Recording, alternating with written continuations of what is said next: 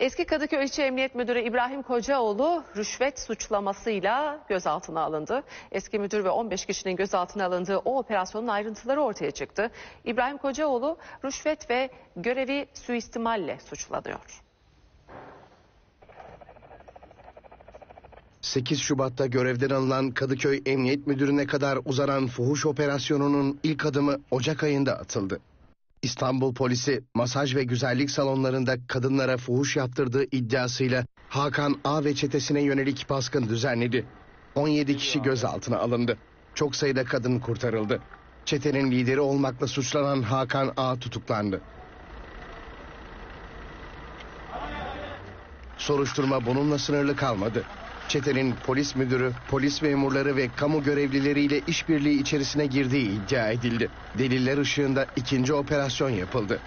Bu kez eski Kadıköy İlçe Emniyet Müdürü İbrahim Kocaoğlu'nun da aralarında bulunduğu 10 polis memuru ve bir kamu görevlisi dahil toplam 16 kişi gözaltına alındı.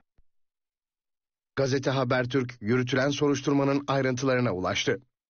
Buna göre ilk soruşturmada gözaltına alınan Çiğdem B isimli kadın ifadesinde Kadıköy İlçe Emniyet Müdürü ile 6-7 ay önce tanıştığını belirtti ve birlikte olduklarını öne sürdü. İddiasına göre emniyet müdürüne fuhuş yapılan masaj ve güzellik salonlarına operasyon yapılmasın diye rüşvet verdi. İlk etapta 30 bin lira ve 3 adet pahalı cep telefonu verdiğini ardından da haftalık düzenli olarak 7500 lira ödeme yaptığını iddia etti.